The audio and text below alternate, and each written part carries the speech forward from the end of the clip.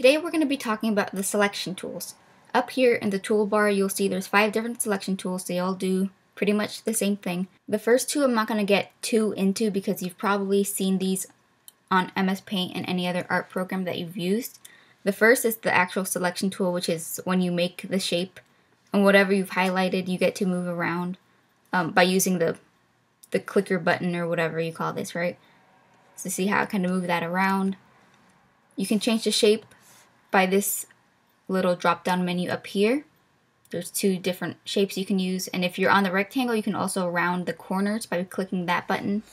So see how the corners are much more rounded off. The second tool is the lasso tool which you've probably also seen on MS Paint which is pretty much you just kind of drag it and you get to customize the shape that you want selected. The third tool is the magic wand tool which is kind of like the paint bucket of the selection tool. Any enclosed area that you click using this tool will be selected, so anything that's kind of in the bluish tint means it's not selected.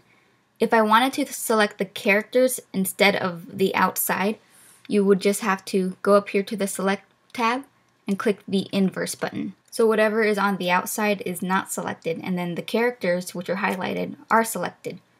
You can use this to kind of move them around or do whatever you want. I don't really tend to use this tool because I'm able to move them around without using it just by being on the same layer and then using the whatever this clicky tool is and then just kind of moving them around. Sometimes if you use the magic wand, it doesn't really work very well. I'll give you an example with this kid right here. I called him a kid. So I'm gonna merge all his layers and let's say I use the selection tool and then I inverse and I wanted to move him around, you might not be able to see it very well, but it kind of left like lines that didn't quite move with him. So that's kind of why I don't really use the magic wand tool. The only times I use the magic wand tool is when I'm making an outline around the characters, which I've talked about in another video, so I'm not going to talk about it in this one. So the fourth tool is probably my favorite, which is the selection pen. It works like the brush tool, as in you get to customize the sides and whatever, and whatever you drag it on is what gets selected. So see how it's pink? Whatever's pink is what's going to be moved around if I use the, the little movie tool. Let me go on the right layer. There we go. I use this tool pretty much every single time that I color hair. So notice how his hair is just kind of one flat color. I use the selection pen and then just draw that curve right there. And I fill in whatever that I hadn't grabbed.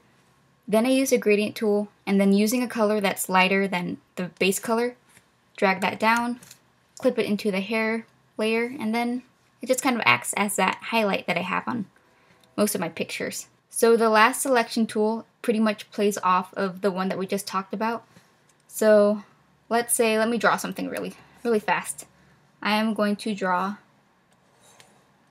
a beautiful circle. It's a cat, obviously. So here's a cat. Oh, okay. So here's a cat. And let's say I wanted to move his face around for whatever reason because it's it's obviously perfect the way it is. So I'm going to select his face and try to move it around. And then I realize that I kind of like where his one eye is. But I already selected it and I'm too lazy to unselect it or deselect it or whatever. So I would click on the last tool, which is like the eraser tool for the select tool. And I would just unselect it with that. There we go. And then I could drag whatever's left. It doesn't actually erase your actual drawing. It just erases whatever was selected.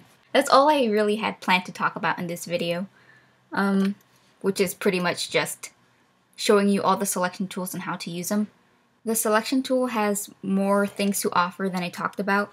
If you go up to the select tab on the top, this menu will pop down and there's all these options that you can play around with during your spare time. Anyways, I hope this video was at least a little helpful, especially to the person who messaged me in the first place about these selection tools. If you ever need help using Fire Alpaca, just feel free to send me a message and I can try to make a video about it. I'm not a pro by any means, but I know that digital art is really hard to get into, and especially if you're using a not as well known art program such as Fire Alpaca because your resources are kind of limited. So I'll be willing to make those tutorials for you guys. So anyways, thank you so much for watching. I'm still not really sure how to end these kind of videos, so I'm just gonna end it like